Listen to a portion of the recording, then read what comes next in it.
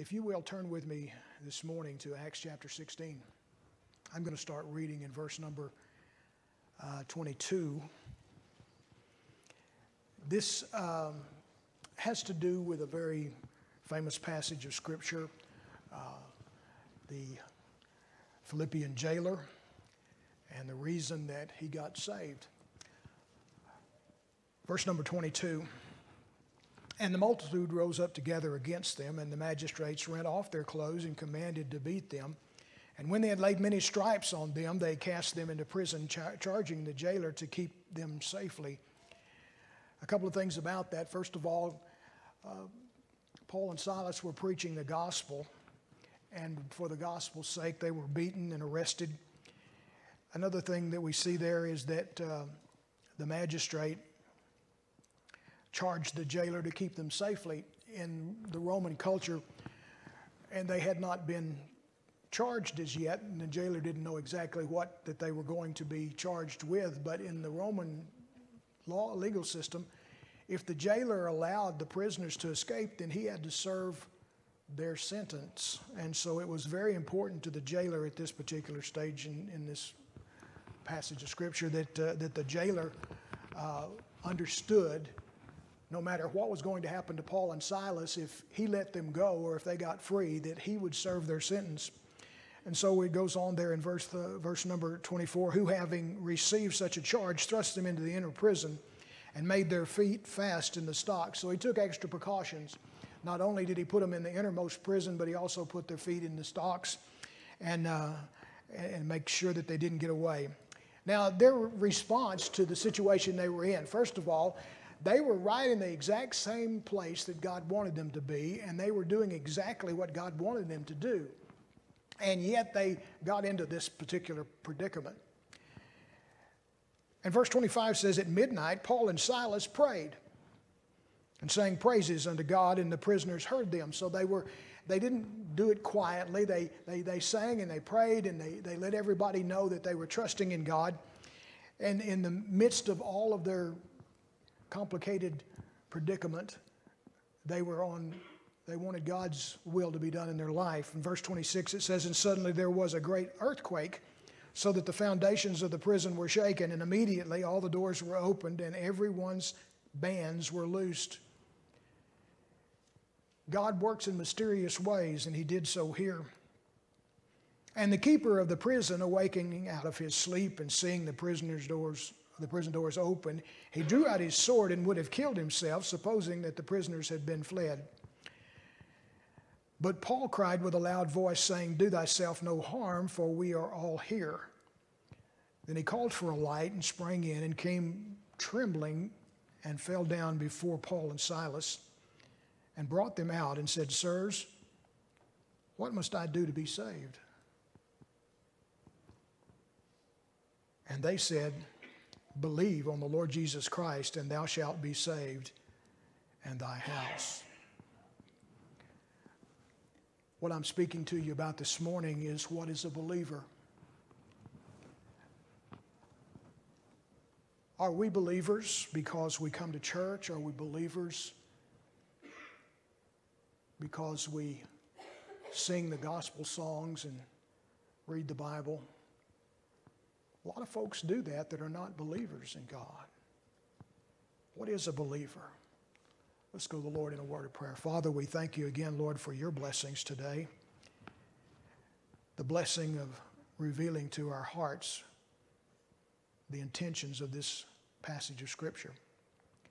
And I pray, Father, that you would not only help us to see what your purpose is, but also, Lord, that when we leave this place, we might follow that purpose with our lives and that we might truly be believers of the Lord Jesus Christ. We ask today for you to visit with us here, Lord. Touch our hearts. In Jesus' name we pray. Amen. What is a believer? What uh, must a person do to be saved? Same type question, same idea. Jesus divides the world into two different groups in John chapter 3 and verse 36. He says, He that believeth on the Son hath everlasting life, and he that believeth not the Son shall not see life. But that's the result of not believing. The wrath of God abideth on him. So God says that there are two groups of people in the world. There are those who believe on the Lord Jesus Christ and trust Him for their salvation. And then there are those who have not. And those that have not, the wrath of God abideth on them. John 3:18 does the same thing. It says he that believeth on him is not condemned, but he that believeth not is condemned already because he hath not believed in the name of the only begotten son of God. It makes a difference what you believe in. It makes a difference what you do with your life.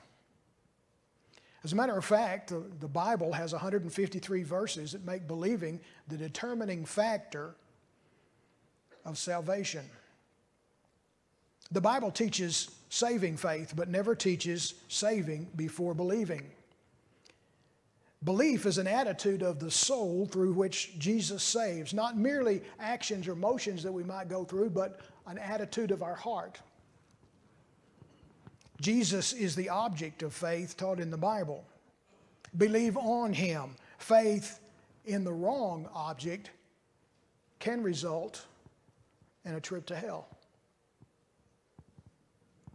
It's important that we understand who Jesus is. Jesus is not only the Son of God, but He's God the Son, the creator of all things that were created. we need to have faith in Him. And that's what that, there's two ways of putting this in, in Scripture. It says to believe on Him or to believe in Him. Somebody told me one time a, a difference between believing in something and believing on something. And they said that there was a, a man who wanted to walk a tightrope across uh, the Niagara Falls. And he stretched the line across and uh, he uh, got on it and he walked out several hundred feet and walked back. And when he came back, he got a wheelbarrow and he put the wheelbarrow on the, the, the, the stretched out line that went across. And he walked all the way across with the wheelbarrow in front of him, and then he turned around on the other side and walked all the way back to where the crowd was. And everybody just cheered, and they said, "Man, this is this guy can. He's the most wonderful type of, uh, type of artist that I've ever seen. And he said, Now, he said, You believe I'm the greatest? And they all said, Yes, we do. And he says, Well, how many of you would like to get in the wheelbarrow and go across with me?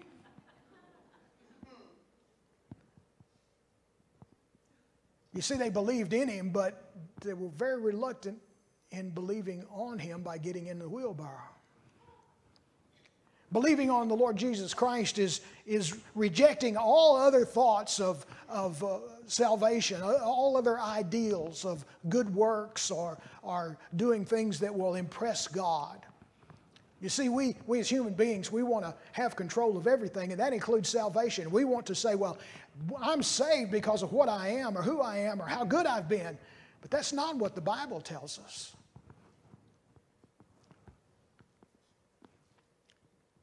Faith in Jesus. Hebrews chapter 12 and verse number 2 says, Looking unto Jesus, the author and finisher of our faith. Not just looking at Jesus. I mean, there's crosses everywhere. Jewelry stores have crosses in them.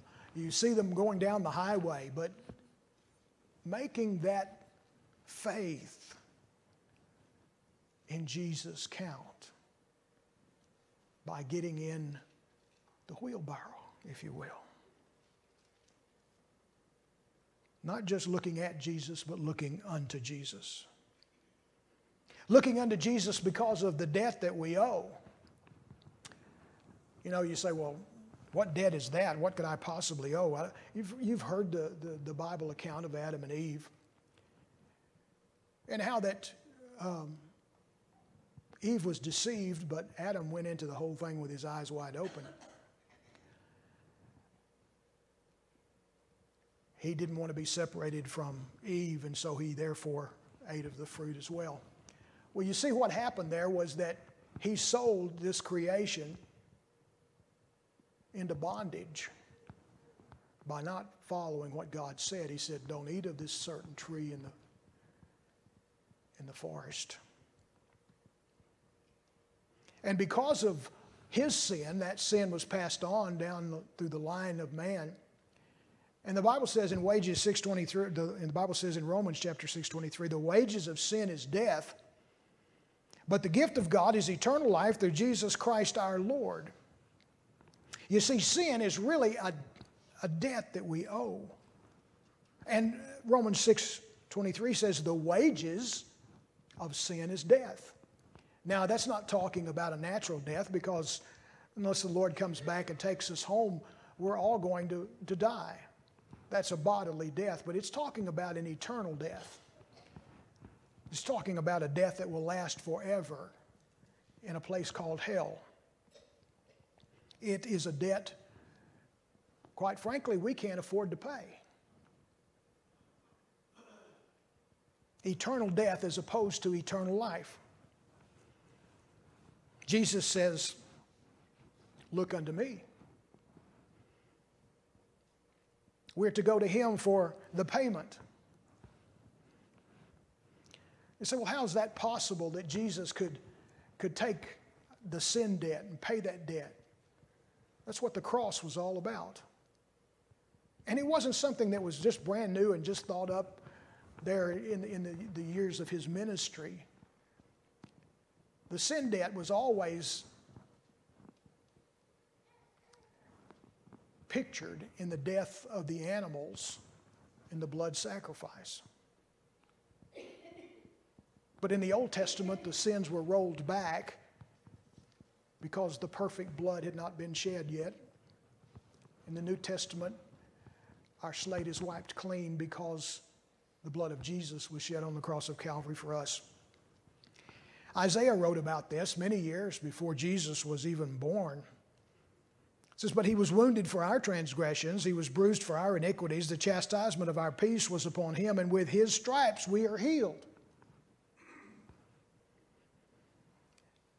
Verse 6 says, All we like sheep have gone astray, and we have turned every one to his own way, and the Lord hath laid on him the iniquity, the sin of us all. So the sin debt is paid through the blood of Jesus Christ on the cross of Calvary. Oh, but does that mean everybody that believes that Jesus died on the cross is saved? No. It means those that look unto Jesus, that come to Him, that seek Him by believing in him. Looking to the Lord. John 19 30 says, When Jesus therefore had received the vinegar, he said, It is finished.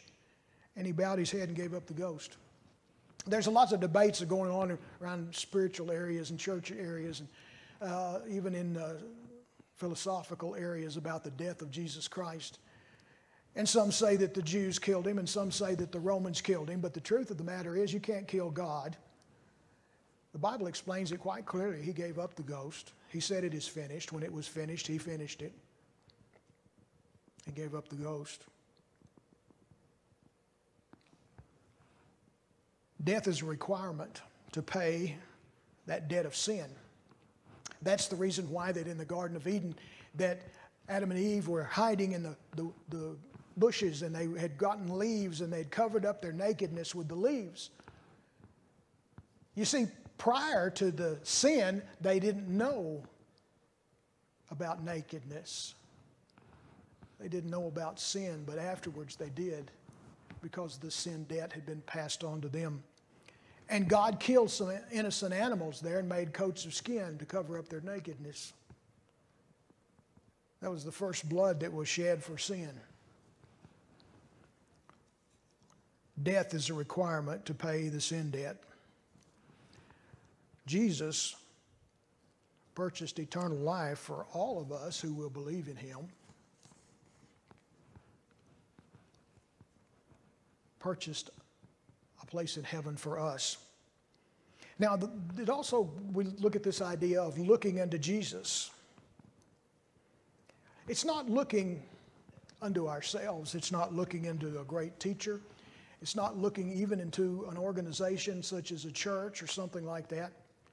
There are many people who say, well, all of the, all, the church is the only one that has permission to save. Well, you know, that's not true. Jesus Christ is the one who holds that in the palm of his hand. He's the one that is the Savior. It's not an organization, but it's a person. And it's not of works. And I, I can't put it any plainer than this. Some of the first verses that I learned to memorize were Ephesians 2 8 and 9.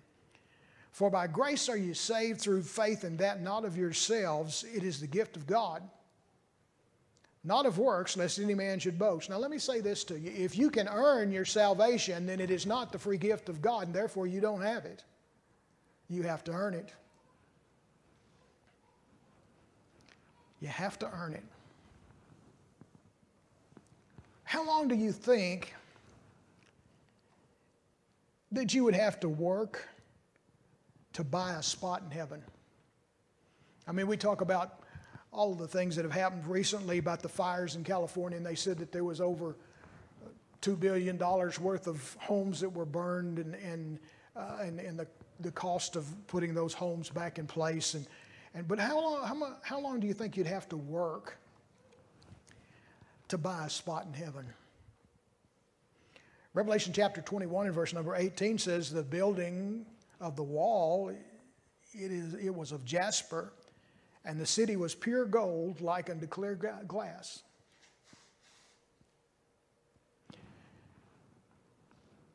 I had read that verse for a long time, didn't think too much about it until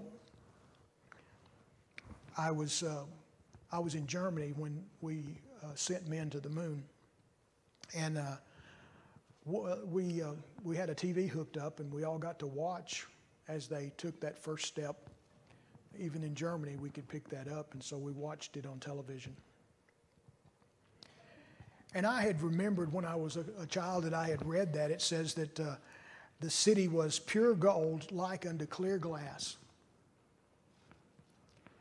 And as I was watching them, they were talking about the helmets that the, these men who were walking on the moon were wearing. And they talked about it how that when they closed those visors, all you could see was a reflection. You couldn't see the men's faces, but they could see out. And then one of those men from NASA made this astounding statement. They said, Yes, that visor plate is coated with pure gold. That's why it shines and gives a reflection it is pure gold. You can see the reflection in it, and they can see through it, but it's the purest of gold to keep out the ultraviolet lights that are out there in space. When he said that, I went to my room and I got my Bible and I looked this verse up. And I said one more time God is right. Let the whole world be wrong, but God is right in everything that He does and everything that He says. Well, how good do you think it, you would have to be to earn your way to heaven? Now, first of all, the cost of a spot in heaven, you can't buy it. There's no way. It's by grace, folks.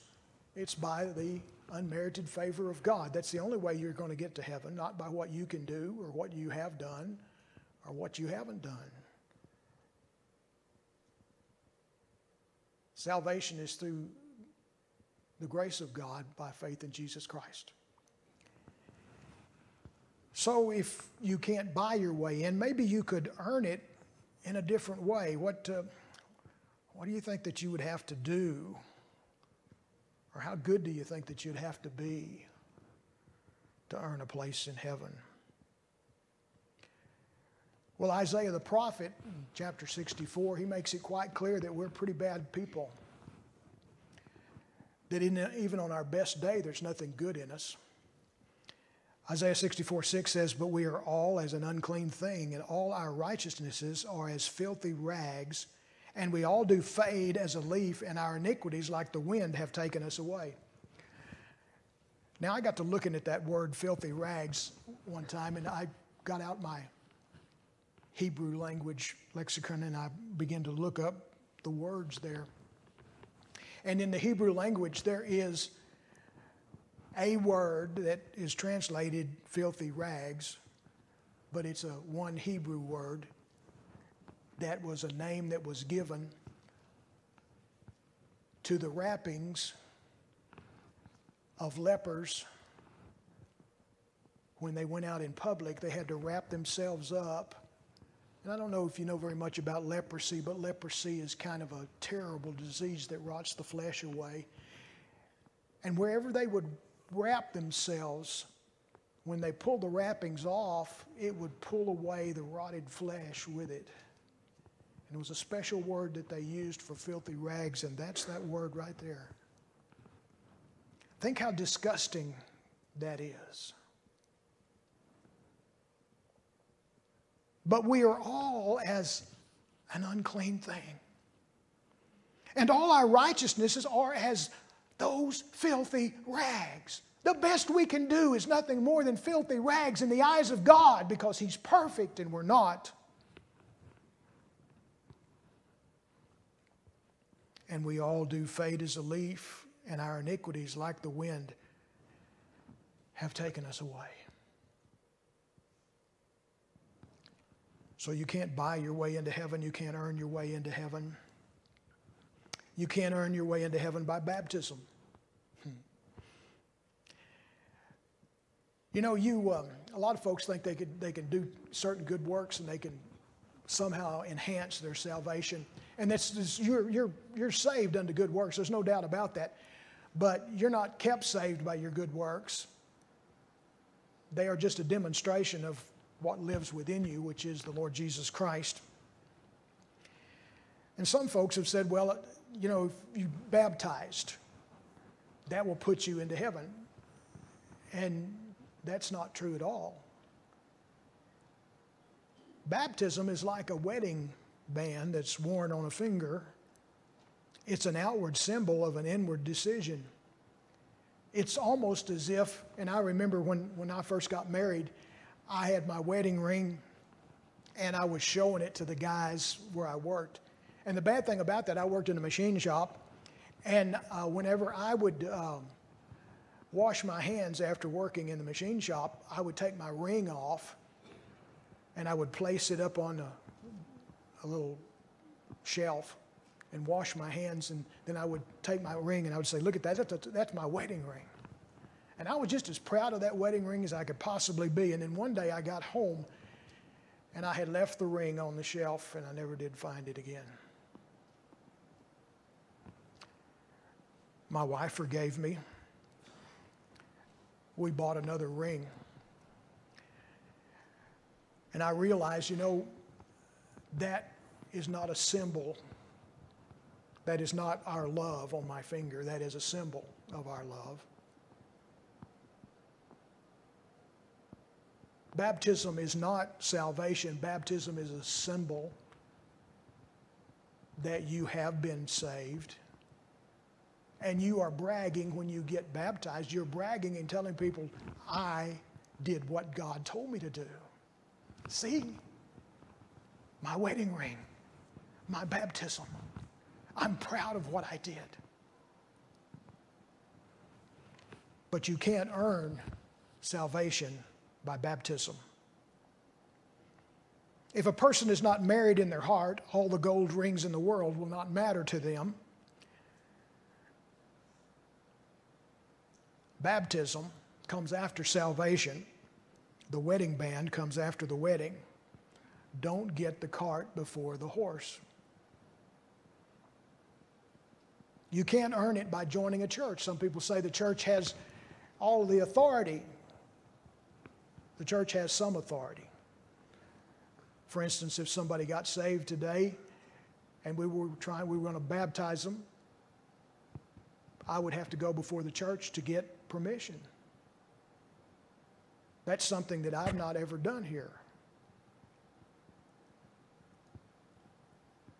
The authority to baptize is within the local church. I would have to get your permission to baptize someone today. It's not by joining the church. It, the, the verse doesn't say by looking unto the church for eternal life. It says looking unto Jesus. John 14, 6, Jesus saith unto him, I am the way, the truth, and the life, and no man cometh to the Father but by me. Very exclusive club, Christians. We're not all going to heaven by different ways. There's only one way to heaven, and Jesus is that way. That's how we're saved. Now, is there going to be a change in your life after you get saved? There certainly is. And I say that with all certainty. Because everybody that I've ever known that was truly saved, there was a change in their life. I was, uh, we got this um, CD. We went over to Snyder and picked it up. I don't know. How many of you know who Johnny and Nelda Flanagan are? Okay, some of you know. Uh, well, Johnny Flanagan has a way of taking songs and turning them into a gospel message. And uh, he's, he's put out quite a few uh, CDs and tapes and things like that. And so we went over to get this CD to take, my wife was going to take it to Japan. Uh, Brother Ken Board over there uh, has never heard Johnny and Nelda Flanagan sing. And so she wanted him, them to have some of their songs. And so on the way back from Snyder, we were playing the song in, uh, on, our, on our disc player in the car. and I remember as we were going down the road, and I thought, man, this is perfect. He was singing this song, and he and and he, he's the the title of the song and the, the meaning of the song was, if you is what you was, then you ain't. It's talking about salvation in his song, and that's basically that's what the gist of it is. If you is what you was, then you're not. Because when you get saved, there's going to be a change. You're going to look at the world in a whole new way. And the world is going to look at you in a whole new way. Nicodemus came to Jesus and he said, Master, we've heard that uh, you can do all of these miracles and you can do all these things, and, and uh, we, we, we want to find out about this. And, and uh, Jesus started right out from the very get go and he looked at Nicodemus and he said, Now, Nicodemus was not an uneducated man, he was a ruler of the Jews, which meant he knew his Bible, the Old Testament, back, backwards and forwards. But Jesus looked at him and he said, Verily, verily, I say unto thee, except a man be born again, he cannot see the kingdom of God. There's an awful lot of talk about being born again. That's born by the Spirit of God into the family of God. That comes from a deep conviction that Jesus Christ is the only way, and you can't get there without Him. Nicodemus is looking at this from an earthly perspective, and he looks at Jesus and he says, How in the world can this be? How can a man be born when he is old? Can he enter the second time into his mother's womb and be born? And Jesus kind of defines this, sets it out for him so that there's no way that he'll misunderstand it. He, says there's two things that people have to be.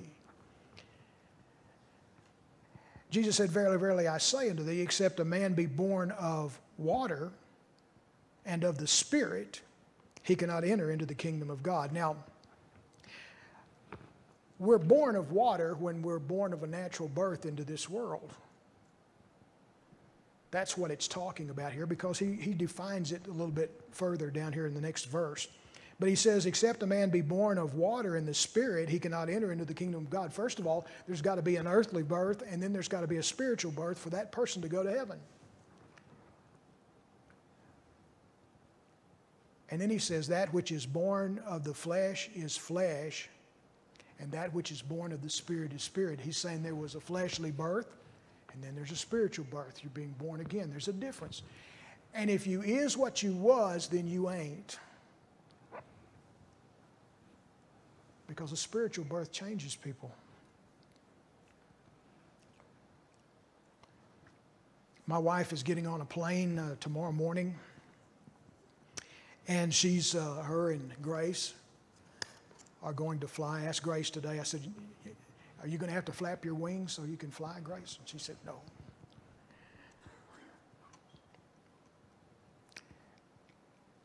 In order to be saved, you have to do your part and let God do His. Your part is looking unto Jesus.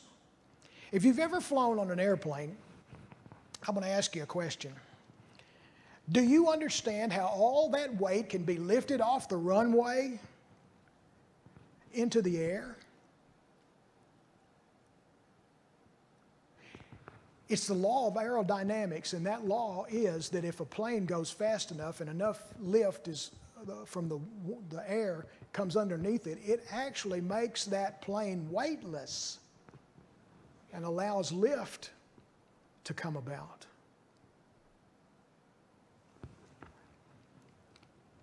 A lot of folks have flown on planes that don't know anything about the law of aerodynamics. Do you have to flap your arms? No, you don't have to flap your arms to stay up. Well, let me say this when you flew, did you feel funny? Did you laugh? Did you cry? Well, kind of like flying, salvation is not a feeling. In fact, it is a fact of God's law of grace. It doesn't matter really how you feel. Now, you ought to feel something, but I'm, I'm, saying to you, some people shout, some people scream and holler, some people cry, some people get so excited they just go into a tizzy when they get saved, and some people don't do anything. But that's the way you act is not the evidence. The evidence comes after you're saved, and that is in the changed life. And salvation is a fact of God's grace. And by the way, if you could get to heaven any other way than by believing in the blood of Jesus Christ that was shed on the cross of Calvary, then why did he have to go to the cross? John 3:16 says for God so loved the world that he gave his only begotten son that whosoever believeth in him should not perish but have everlasting life. For God sent not his son into the world to condemn the world but that the world through him might be saved. A lot of folks say, Well, you want me to be saved. You, you, you're condemning me as a sinner. Well, let me tell you something. You're already condemned. You're a sinner. And sin will not enter into heaven. And so it is by the grace of God that Jesus Christ went to the cross and took your punishment and my punishment so we could go to that heavenly place.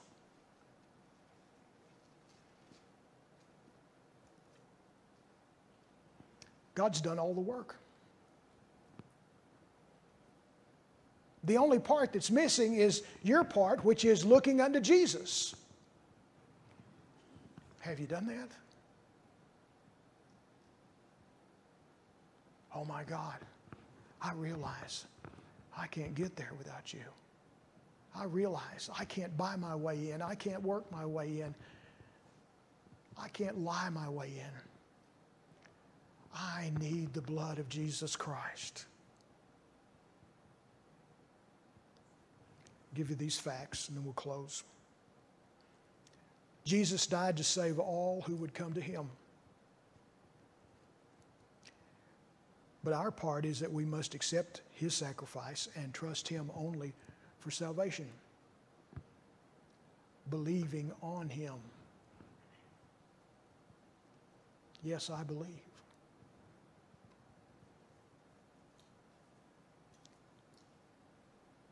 Luke wrote it really well in the book of Acts in chapter 4 and verse 12 Neither is there salvation in any other, for there is none other name under heaven given among men whereby we must be saved. There's no activity, there's no action, there's no charge, there's no price you can pay, there's no goodness that you can do, there's nothing in the whole wide world that you can do for your salvation except to come to Jesus Christ and say, Yes, Lord, I believe on you for my salvation.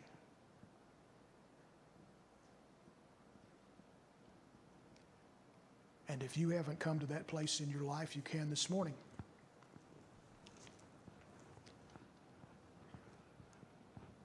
It takes a short walk,